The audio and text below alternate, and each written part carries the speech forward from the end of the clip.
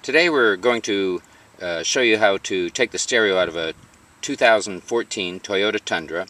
Uh, we have the stereo in the shop for a bad display and we've taken care of the display so we're going to put it in and sort of show this video a little bit backwards.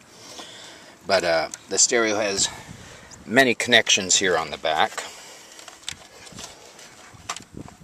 Many connectors. These connectors are all keyed, they're all specific, and the connectors only go back and fit specific spots.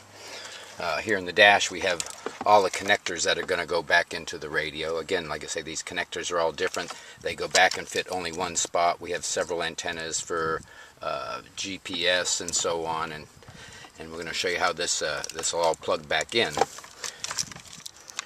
Uh, when the stereo is uh, originally removed, um, we had one clip right here. This yellow clip stayed in the uh, body of the vehicle. So we're going to go back behind and pull this clip out.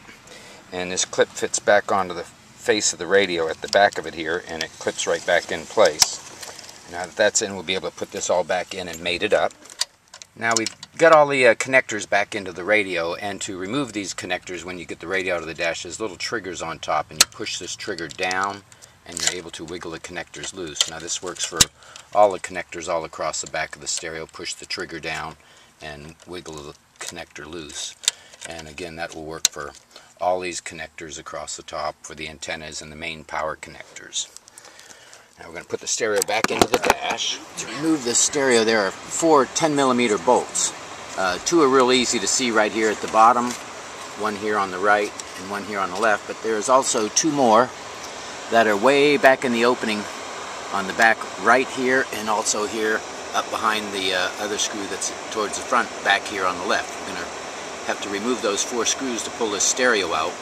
And again, the clips hold this stereo in place, so you just pull the stereo straight out of the dash with all the four screws removed.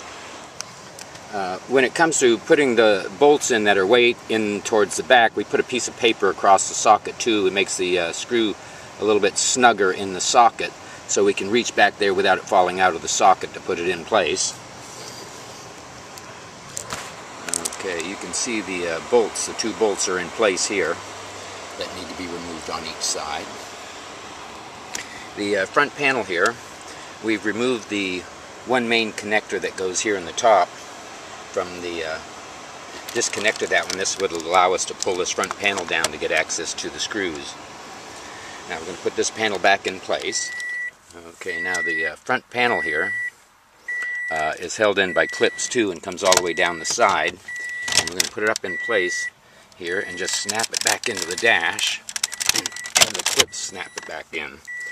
Now to remove this panel, you start at the bottom and pry along, start at the bottom and pry up along the edges to get the AC controls and the uh, Tundra insignia across the top here to pull away from the dash.